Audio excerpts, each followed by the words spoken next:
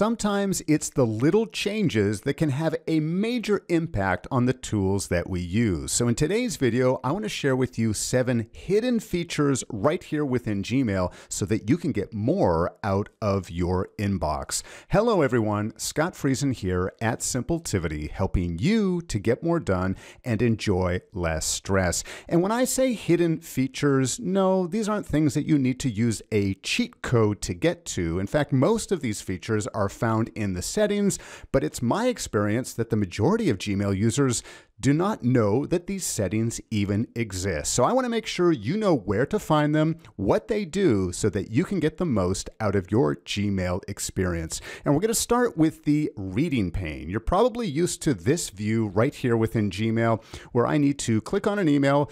Okay, now I've read the email. I can delete it, archive it, add a label, and then I'm going to go back to my inbox. And then I'm going to open up another email and I'm going to read it and do something with it. And then I'm going to go back to my inbox.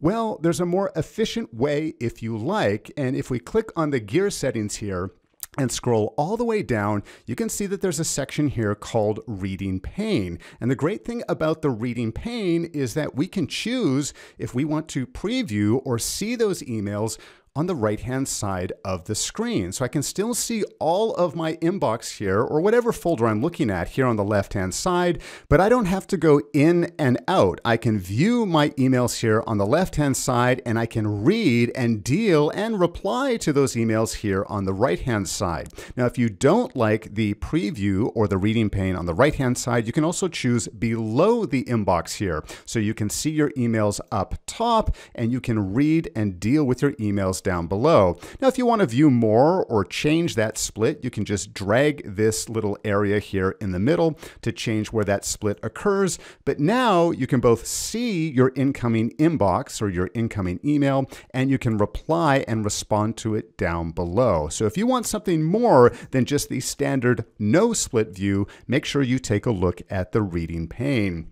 Now, the second one on our list has to do with saving even more time. In this case, we want to auto advance through our messages so we don't have to keep coming back to our inbox. Once again, we're going to click on the gear icon, but this time we're going to say see all settings. And at the very right hand side or near the end of the right hand side, we want to click on this advanced tab. At the top of the list, we have something called auto advance. And what this is going to do is that after we delete archive or mute a conversation, instead of going back to the inbox, we can enable this feature and it's going to take us to the very next message. So let's take a look at what happens in a normal Gmail setting. Let's say I open up this email and I don't need this anymore, so I'm going to delete it. I'm brought back to the inbox. That's pretty standard behavior. But if we go back to our settings here, I'm going to click on that advanced tab and I'm going to enable the auto advance feature. And don't forget forget to hit Save Changes. Now it's going to refresh my Gmail screen here for just a moment. But let me open up another email here. And let's say, okay, I've read what I need to do here. I'm going to delete this one as well. I'm now immediately taken to the next message in my list. And in this case, I'm going to say, uh, I'm going to archive this. Maybe there's something in this message that I want to read later. I'm brought to the very next message in my inbox. So no longer am I wasting time going back and forth and back and forth. I can more efficiently get through my email by turning that auto advance feature on. Now, the third hidden feature I want to talk to you about has to do when we make a mistake, such as replying to an email when we're a little mm, hot and bothered, or perhaps just a little angry, and then we say, ah, you know what, I should take that back. So we're talking about undo send. Now, let's go ahead and create a new message just by default here, and I'm going to send it to a test account here. I'm not even going to fill anything in at this case. I'm going to hit send just to show you here in the bottom left left-hand corner, we always have this little dialog that says, okay, message sent, undo, or view message. Now, the undo was there for a few seconds, but now uh, it's gone. I, I actually can't undo this message. In fact, even if I go and hit view message here, uh, I don't have the option to undo this message anymore. That's because by default, the undo send feature is set for a mere five seconds. So if you don't make that decision very, very quickly, you will not be able to take that message back. If we go back into see all settings and about the fourth one down here on the general tab, we have this undo send setting. Now here's the cancellation period. By default, it is five seconds, but we can extend it all the way out to 30 seconds, meaning that after we hit the send button, Gmail will not actually send that message until 30 seconds later. I'm just going to go down to the bottom of the screen here, the bottom of the page, and hit Save Changes so I can apply that to my email account. So now let's go ahead and send another message here. I'm just going to open this up. Let's choose the same test account in this case. I'm going to hit Send, and you will see at the bottom of the screen that undo link, this undo option is going to hang around an awful lot longer. So I can wait here and say, you know what? Didn't really mean to use that type of uh, verbiage. I didn't really mean to say the things that I did.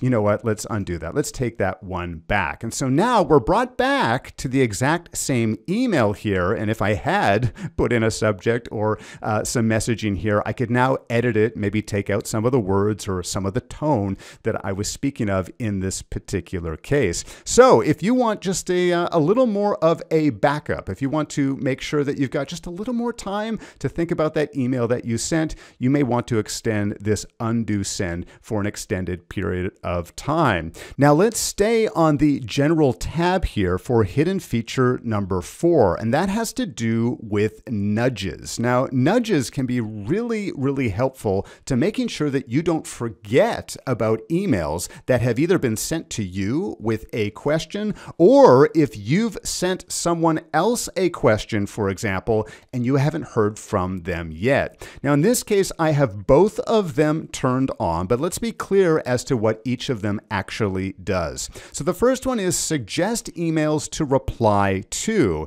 and it says emails you might have forgotten to respond to will appear at the top of your inbox. So, for example, if someone has sent you an email and it contains a question, but you've never replied to that email, Gmail can bring that particular message back, maybe after two or three days, and say, hey, do, should you reply to this message? Do you want to reply to this message? It will appear at the top of your inbox. So this can be a great way to make sure that you don't forget anything in your inbox.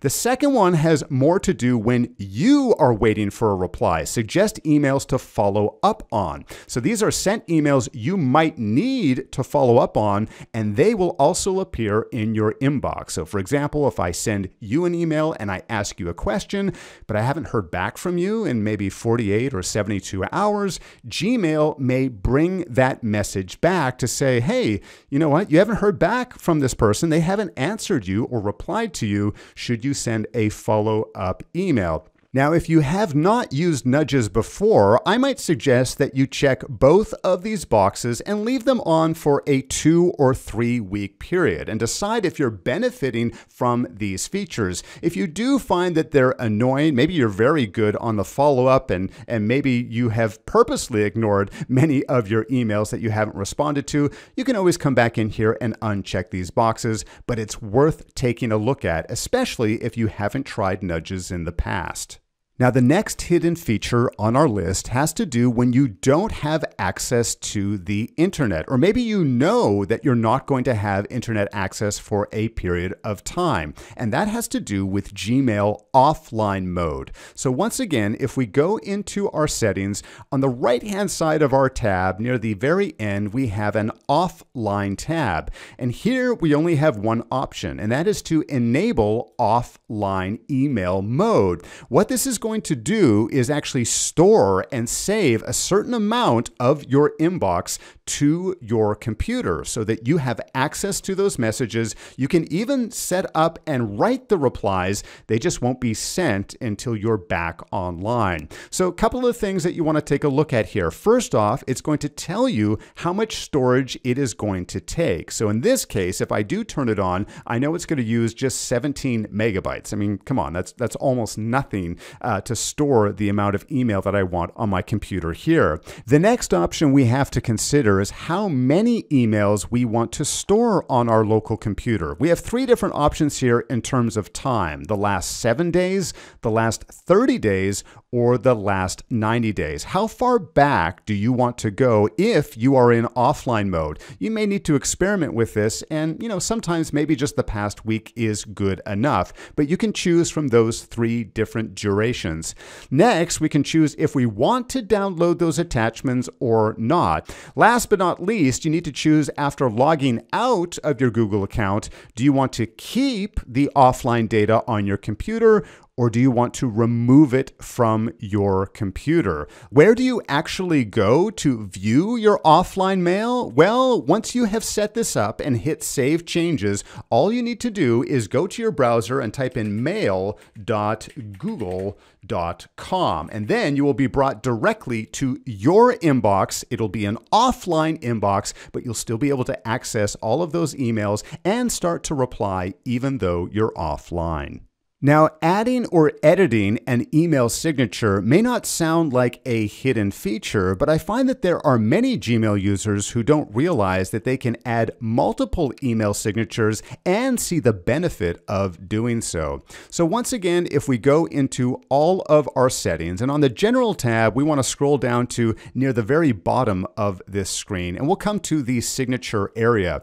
Now here you can see I've got my default signature here and you can edit it any way that you like, but you can have as many different signatures as you want. So for example, here I've got a second signature, which I like to respond to for a different purpose, right? Maybe I have a different tagline. Maybe I want to include different links or different promotional links within this, depending on whom I'm sending it to.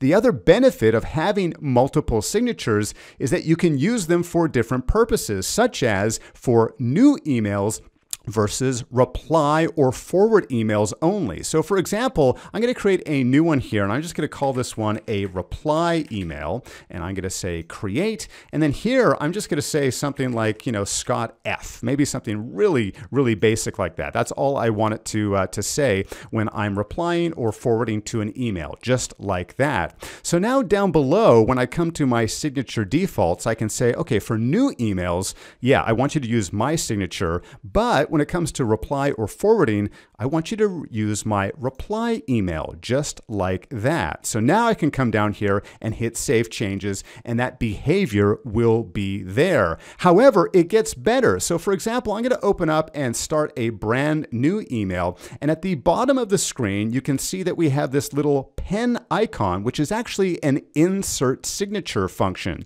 So by default, here is the correct signature that I want for most of my emails emails. But if I come down here and select insert signature, I have access to all of my signatures. So maybe I want that second one.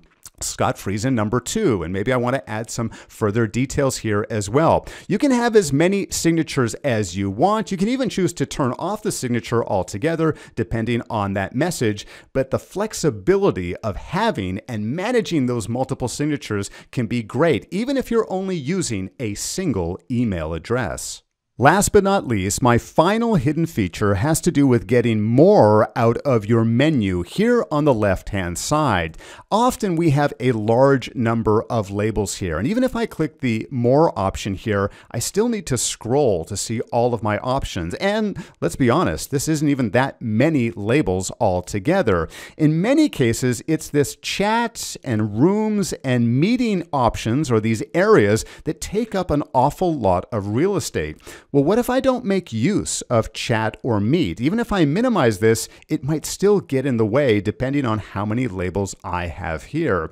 Well, if we go back into our settings and say see all settings, all we need to do is click on the chat and meet option and we can turn both chat and we can turn meet off. We can turn chat to off and we can say hide the meet section in the main menu. I'm going to select save changes. I'm going to be brought back to my main screen and now they are gone. Now I've got full access to everything here on the left hand side. Now I would love to hear from you next. Which of these seven hidden features were your favorites or did I miss something from my list? Be sure to let me know in the comments down below. Thank you for watching today's video. I hope you like and subscribe right here to the Simpletivity channel. And remember, being productive does not need to be difficult. In fact, it's very simple.